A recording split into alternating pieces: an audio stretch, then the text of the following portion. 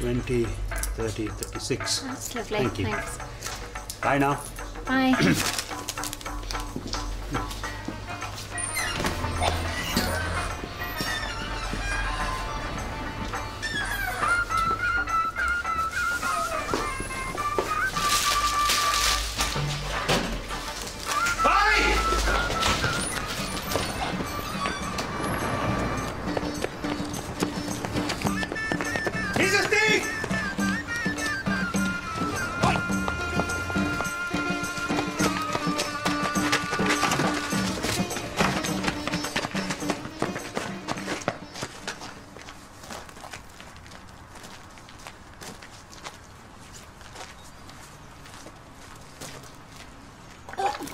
Oh, no, that's okay. Don't worry about it. Um, do you want to go through to see Dr. Cassidy right now? Hmm. I should get danger money working here. I'm going to stink like a sick basin all day now. Uh, But there must be some kind of stomach bug going around. They were queuing out the door when I arrived. Oof. I mean, I burnt the toast this morning. I've stubbed my toe. What's next? Being kicked in the teeth by a donkey. Well, they say bad luck comes in three. So, you are due a change of fortune. We'll see, shall we? Ooh, fancy envelope, posh writing, dinner invitation from the Queen. Mm, I should be so lucky.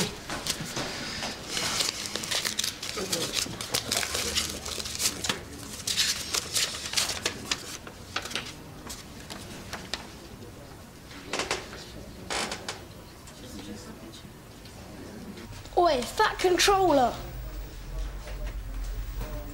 You can't keep me here, you know. I'm a European human. I've got rights. Which is why I'm waiting for your dad to try and get away from work so the three of us can have a nice little chat. When do I get a PlayStation like in a proper prison? Let's see how smart that mouth of yours is when your dad arrives. Tell him to bring my DS, yeah?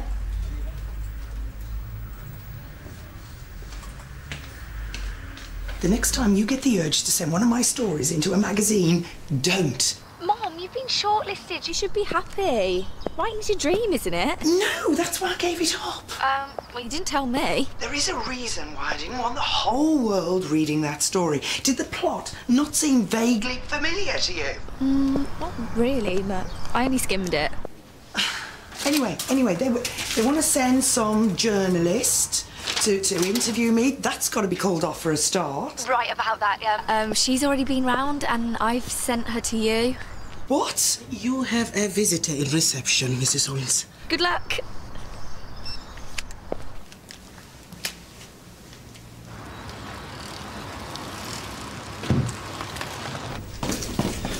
Mr. Kelly, Rob Hollins, thanks for coming. How's Felix? A little mouthy for my liking, but other than that, he's fine. Cheeky I can cope with. Getting caught with stolen goods is another matter. You did say he'd been caught with stolen goods.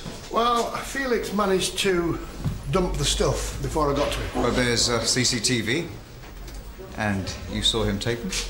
I saw him running away, and I've got a very reliable source that says that he did steal them. So you've absolutely no evidence that Felix has done anything wrong, yet you're still holding him. Yeah, yeah, I am, because I know how easy it is for good lads to get into trouble, so I'll bring them in, give them a bit of a scare, and that usually does the trick. And there is the small point of Felix being absent from school. Franklin and Ketley solicitors. I imagine you've heard of us. If not, you'll be hearing from us soon. Badge number. I think that says 7244. Hmm.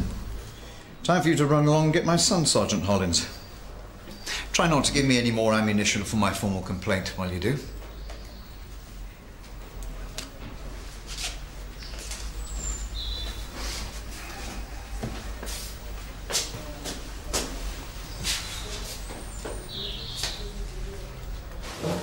I'm so sorry that you had to come all the way down here. Nonsense. I was actually glad when your daughter suggested it. The whole point of the competition is to showcase the talents of ordinary people. And what could be more ordinary than working here? No, I, did, I, I meant, I'm sorry you had to come down here because I don't think I can do the interview.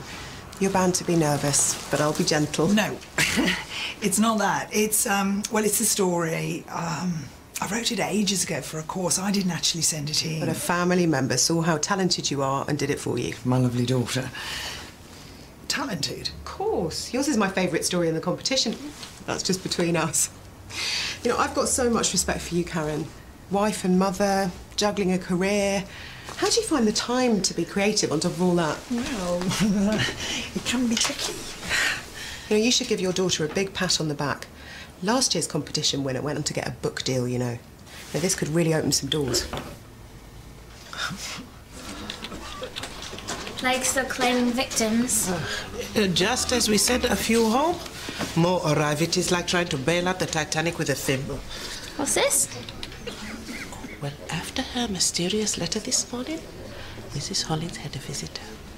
Jackie Welsh, Letherbridge Life? Now, you know I do not like to pry into other people's personal business, but I did a little research. Short story competition. They have posted the stories online for the public to vote for their favourite. Why has she been so secretive about it? Stick one down for Karen to win for me. I most certainly will not. If you want to rig the election, you can look elsewhere. It's just a competition in a local mag, Mrs. Tembe. The rules clearly state you read the story and then you vote. If you cannot spare five minutes for democracy, then.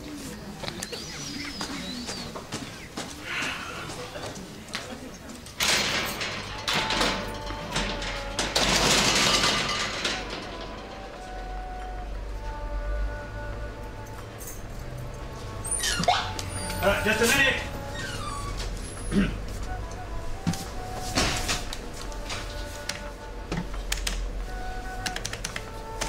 you! What are you? You think this is funny? Huh? You think this is a joke? Oi, don't touch what you can't afford. I stand behind that counter for 14 hours a day, six days a week, and a half day on Sunday. My feet hurt. I have to wear gloves all year round. You've still got no right to touch me. Everything you steal means there is less food on my family's table. So, yes, I have a right. I have every right to do with you whatever I choose. Get down! Ow!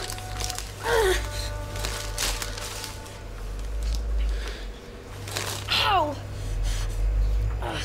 So we'll have a chat first of all, which I'll record and write up. And then later on, we'll do a brief interview on camera for the online edition. Sound good? yeah, I've never done anything like this before. For now, all you need to do is tell me and the readers why they should vote for your story to win. Oh, okay. Just relax and be yourself. Well, you must do this all the time. I mean, I'm normally elbow deep in urine samples and stroppy patients. Yeah, this kind of thing is my bread and butter. Though I am aiming for a cover line by the time I've turned 40. but if I didn't do this job, I wouldn't get to meet people like you, would I? So, sell me your story, Karen.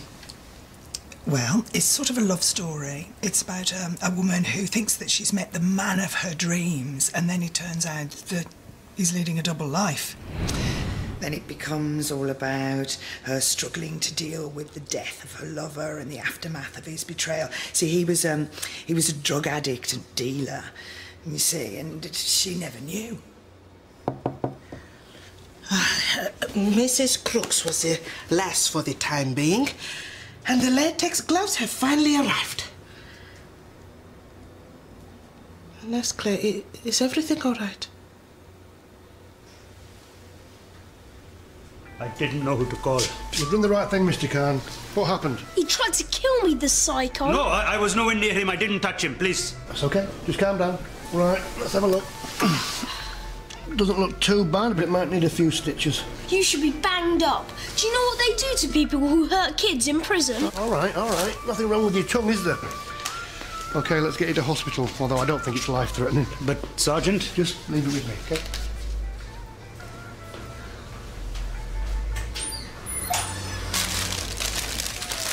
Is that enough? How can I put this, Karen? There's a lot of magazines out there. You have to grab people's attention. Are you sure there isn't an angle we could play here? An angle? A story behind the story. Like if you kept your writing ambitions a secret from your family all these years. Well, like I said, I just did this course. Or if it was your mother's dying wish that you put pen to paper. Cherry, You're having fun chatting about that story of yours? How about I give you two a minute?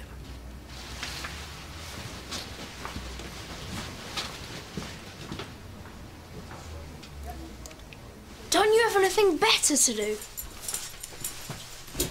You could try being grateful for the lift home. You know, I've known Mr. Khan for quite a while now, Yeah, go to the same branch of old Gits Anonymous, do you?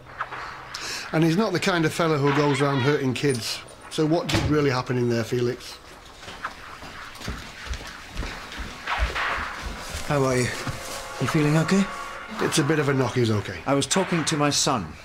He's fine. And I hope you don't mind that he let me in, seeing as you weren't here. I was in a meeting. I came as soon as I could. What happened? That shopkeeper's got it in for me. He pushed me and I hit my head. Upstairs, Felix, now.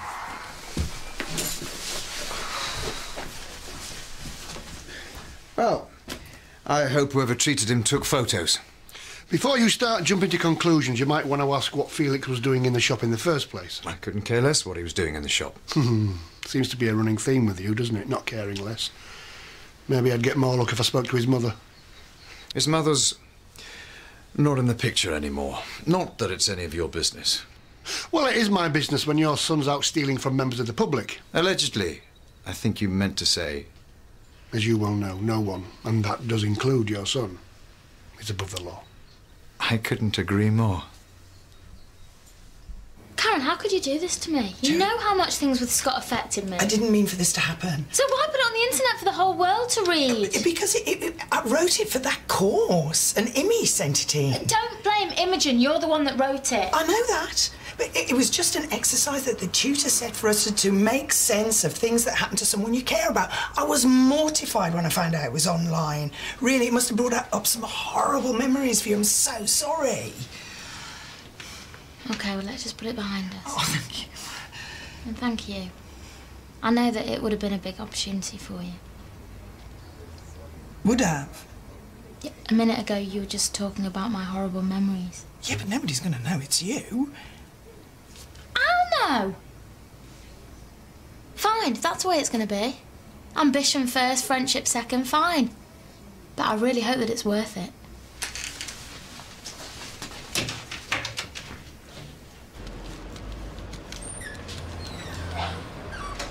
Hi. I'm afraid I need to ask you to come down the station, Mr. Khan. Now, you've not been arrested, but an allegation's been made that you assaulted Felix Kettley in your shop this afternoon. So I need to ask you some questions. You might want a solicitor present. Have you heard what I've said, Mr. Khan? It's just an investigation. You haven't been charged with anything. Every day. Boys and girls stealing. Taking anything they can. And I cannot afford CCTV, so I try to tell myself it's all part of running a business, but it wears a man down. Calling the police every day. Seeing a boy like that arrested and then set free an hour later. Yeah, it must be hard. I came in from the back room to find him trying to open the till. I chased him. I caught him. I tried to explain my side of the story, that's all. Then you've got nothing to worry about. Nothing to worry about. Explain to me, please, why it is there are no consequences for people who steal from me, yet I do nothing wrong and I end up here. I had to tell my wife it would be another six months till I could bring her and our son to join me here because business wasn't so good. Harry, now I have to tell her I am being accused of assaulting a child.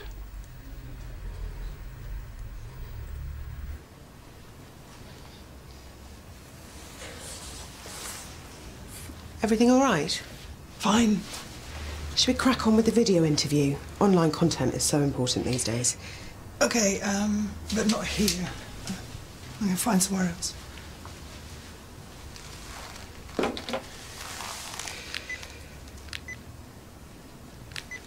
didn't mean for this to happen. So why put it on the internet for the whole world to read? Because it, it, I wrote it for that course, and Imi sent it in. Felix was trying to steal from the till. That's why Mr. Khan was chasing him, if you're interested. And you have evidence to support that theory, I suppose?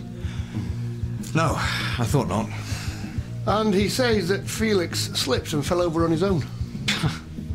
Why don't you drop the assault allegation? There's no witnesses. It's Felix's word against his. Why would Felix steal? Anything he wants, he only has to ask for. Yeah. I see a lot of divorced parents trying to buy the loyalty of their kids instead of teaching them the value of money. I'm not divorced. I'm widowed. Typical police attitude. Always assuming you know more than you do. Kelly. Wendy Kelly. She was forced off the road. Not that you lot bothered to look for the other vehicle. I'm sorry. What are you doing here? Are you okay, Felix? I thought the hospital checked him over. You all right, son? What? Have you been drinking? No! He's been drinking. Is that what happened earlier? Why you fell over?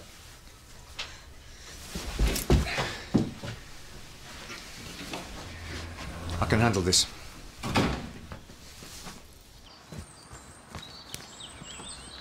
Felix! Felix!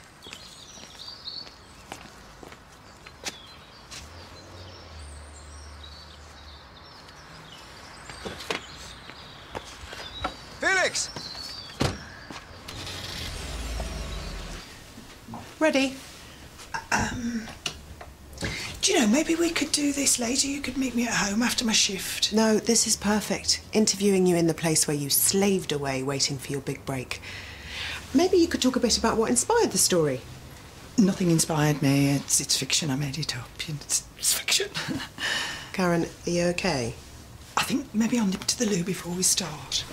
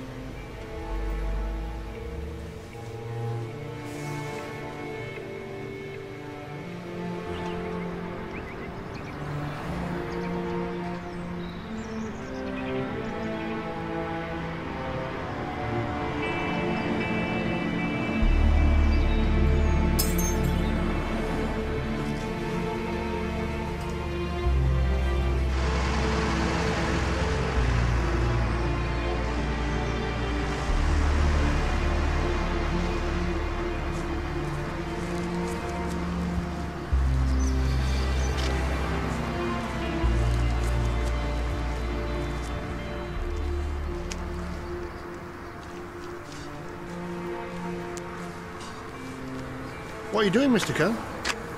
I dropped my keys. Oh.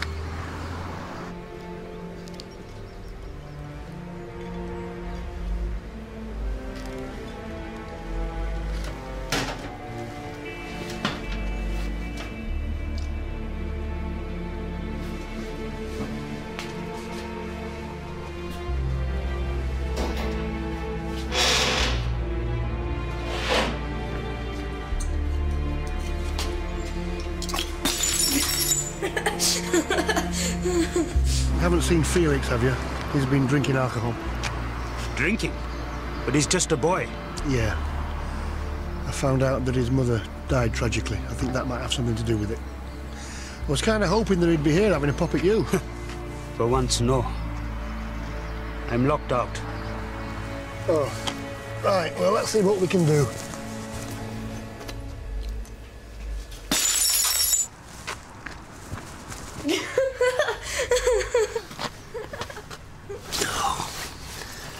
Little tow rag. How did he get in there? I don't know. He's always doing it. Mr. Kelly, yeah, it's Sergeant Hollins. Can you make your way down to the Khan convenience store on Avery Street? We found Felix. Boy! Open the door now! There's liquor all over the floor in there. And he has a lighter. Felix, listen to me. It's Sergeant Hollins. Stop messing with that lighter now and get out here. Anyone comes in, I'll torch the place. I'm going to have to break in. N- no, no, please let me try. Felix, listen to me. I have a son. He lives in Pakistan with my wife. It's been six years since I've seen him, and I know it's not the same as what you're going through, Felix, but some days, some days, I wonder if my son feels like I've abandoned him. That I don't love him because he cannot see me. Because I'm nowhere near. But the truth is, I think about him every day.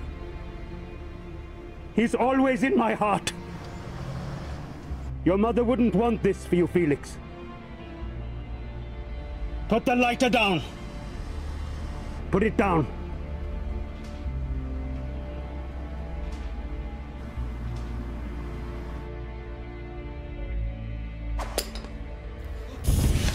Seven two four four to control.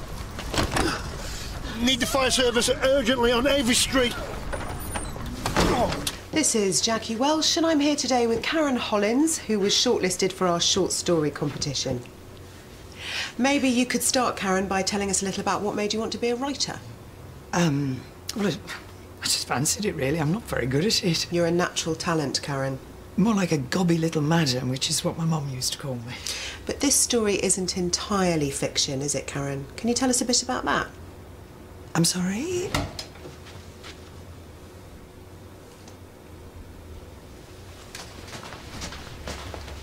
You're unbelievable. Oh, Cherry. You did take some inspiration from real life, didn't you? A little more than just inspiration, some might say. Isn't everything in this story true, Karen? Didn't it happen to a colleague of yours? And didn't you use her life story without even asking permission? Can you answer the question, Karen? I've been a right mug, haven't I? Karen, I'm trying to help you out here. People like to know the story behind the story, remember? Oh, so you're not trying to make yourself look good, creating a splash so you can get yourself on the front page? I haven't created anything, nor as it turns out of you. You've been blowing smoke up my backside all day. Well, if you don't take that story off your website, I will sue the pants off you.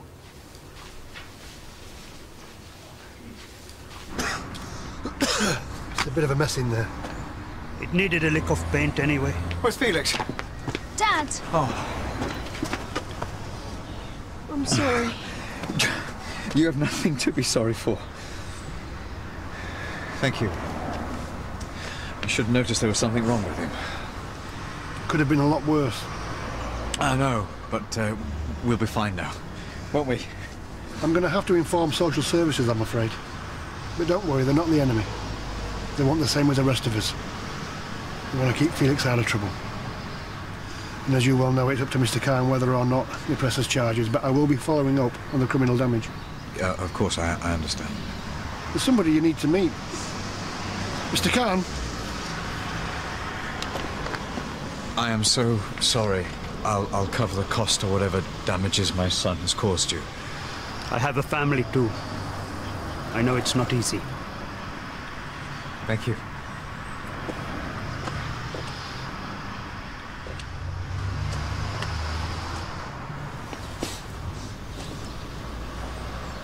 I will burn every copy. I will erase my hard drive. I'll never mention that flipping story ever again. just tell me that you told that woman where to shop. Oh, don't you worry. You do know you've thrown away your best opportunity to make something of yourself. Do you know what? I'd rather be ordinary and happy than clawing my way to the top and miserable like you. Some people just aren't cut out for success. Oh! Hang on. Hold the front page. Oh. oh, you are a very clever boy. Hello. Would you like a tissue? Would you? Oh, dearie, dearie me. I'll be having a little chat with each of you. By the end of the day, I'll let you know who's got the role. Can't you see how unhappy I am? Yes, love, but you're going to have to find another friend to lie for you. Why not take the next logical step and become a partner? All right, so that's what this was about. I get jealous of my friends too. Sometimes it kills me, but I've never doubted us. I can finally reveal that the winner is. After losing.